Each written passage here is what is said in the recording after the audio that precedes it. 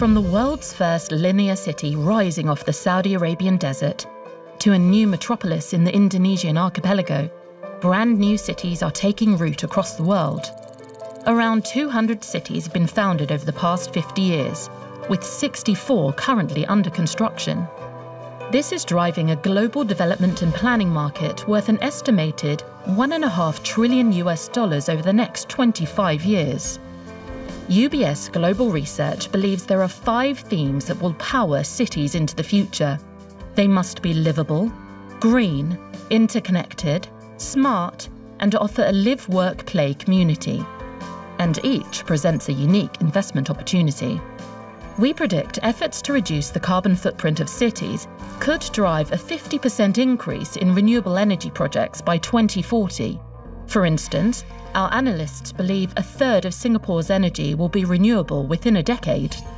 All new cities will need to be interconnected. For travel in and between urban areas, commuters may rely on high speed rail. This could lead to a five fold increase in high speed rail tracks.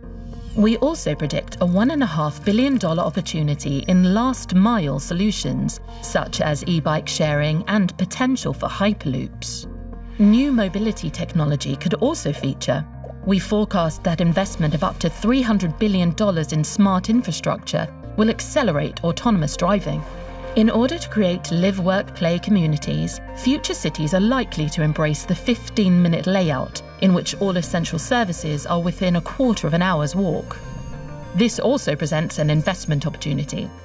To increase city livability and reduce congestion, new business districts will tend to be constructed outside the centre. But how are future cities going to be built?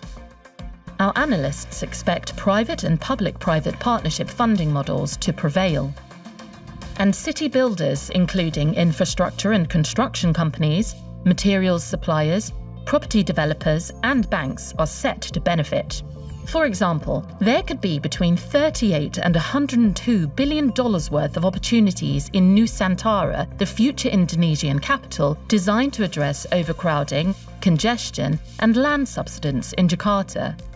Although the development size and scope of each new city will differ, these five core building blocks are crucial to ensure long term productivity and progress.